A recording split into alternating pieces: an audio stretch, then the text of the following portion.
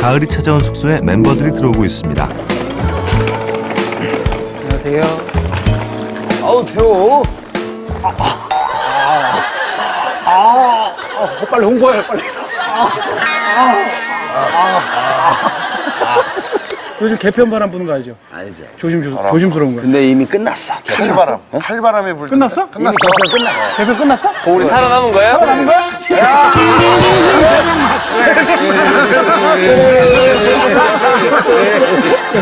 여러분 박성호 아웃 허경환 아웃 어, 근데 이거 봐. 벌써 홍시 이거 홍시가 됐네. 어 이거 뭐냐 요즘 감나무.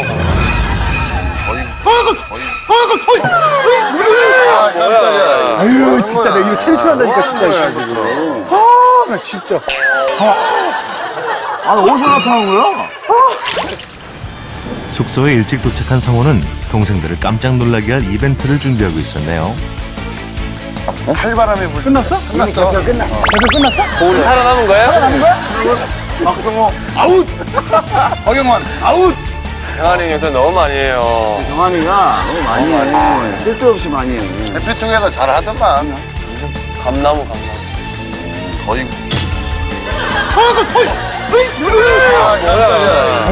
진짜 내가 이거 제일 싫어한다니까, 뭐 진짜. 거야 지금. 하지 마, 너 진짜. 아 깜짝이야. 아 지금 놀랐네. 아 깜짝이야. 경환이 마지막으로 도착했습니다. 아, 형 메시야. 대시야? 아유 죄송합니다. 개편식이 대로. 돼가지고 예능국장님 좀 만나고 왔어요.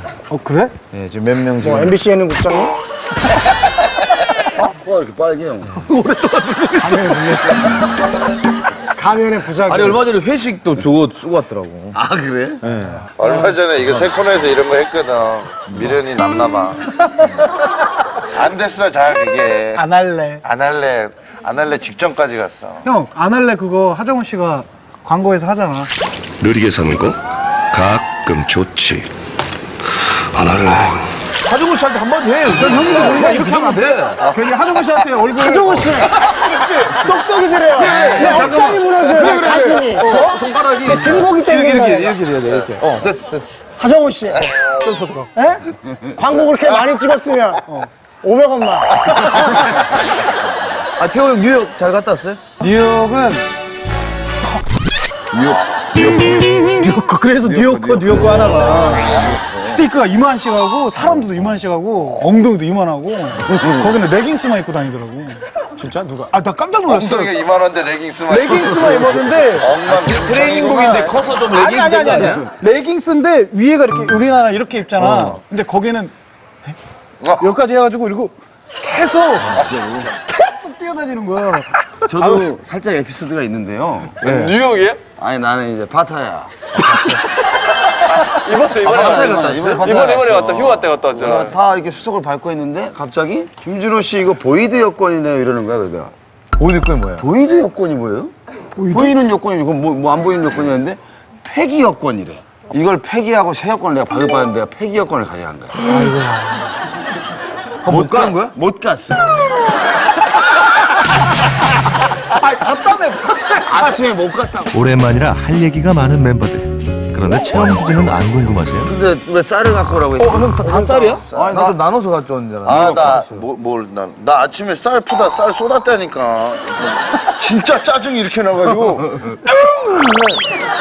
우리가 쌀을 내가 볼 때는 하는 거 봐서는 미션이 나눔 이런 거다. 그렇지. 좀난 지금 가을이어서 가져온 쌀만큼 추수해 오는 줄 알았는데.